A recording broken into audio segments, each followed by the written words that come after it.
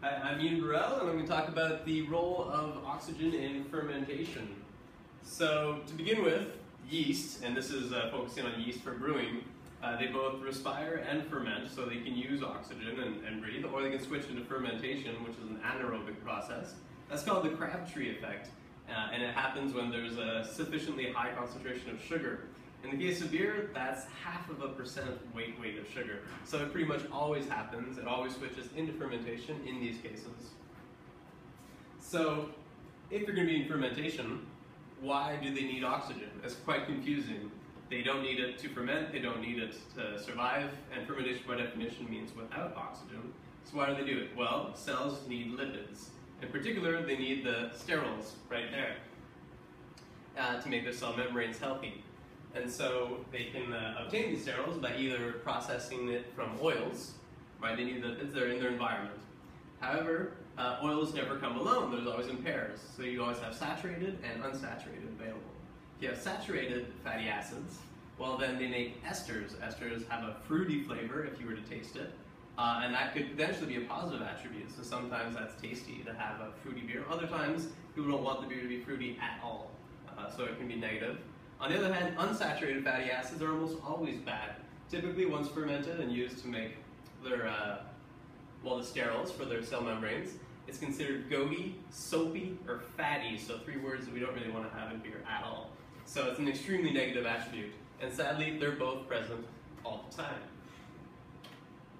So if you're not going to add oil, then what happens? Well, your yeast are going to be weak, they're going to have very low alcohol tolerance, so they might not even make a full fermentation. Uh, they're not going to bud. Budding is when they multiply. That's how yeast multiply. Uh, so they're not going to bud as much because they won't be able to produce the cell membranes, so lower cell density. They can even stop growing entirely if it's that bad. Uh, the lag phase is going to be much longer, uh, and then fermentation might be entirely incomplete, and you wind up with a very sweet beer because there's so many residual sugars. Um, so yeast will try to produce their own sterols, uh, or own lipids for the cell membranes using the sterol biosynthesis. That, however, requires oxygen, and that's why we give oxygen to yeast when brewing beer. So oxygen is very positive, it can also be very negative. Um, if you put a lot of yeast into the beer, they won't need to reproduce much or bud um, to hit the concentrations necessary to ferment. So you're going to have residual oxygen because they won't consume it all. Residual oxygen, in turn, is uh, pretty bad because it leaves it available for oxidative reactions. Uh, and then yeast can also consume uh, things like ethanol with the oxygen. So to start with, the big pitfall of oxygen is trans-2-nonenal, uh, which tastes kind of like wet cardboard. It also smells like wet cardboard if you ever smelled it. Uh, it's responsible for the stale flavor in beer, beer going stale, uh, and is detectable at 10 parts per billion, which is extremely small. So that's exactly one grain of salt inside a 100 liter barrel of T2N and is considered ruined. So it's almost nothing. And 100% of humans so far are capable of detecting T2N. So not all tongues can detect all flavors, but it seems that all tongues can detect T2N, which is terrible.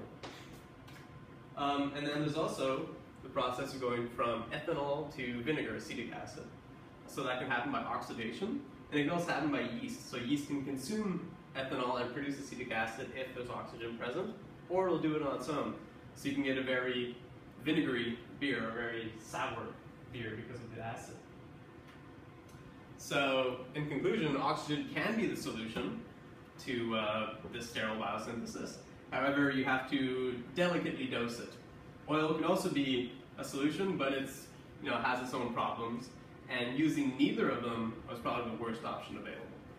Thank you. Here are my references.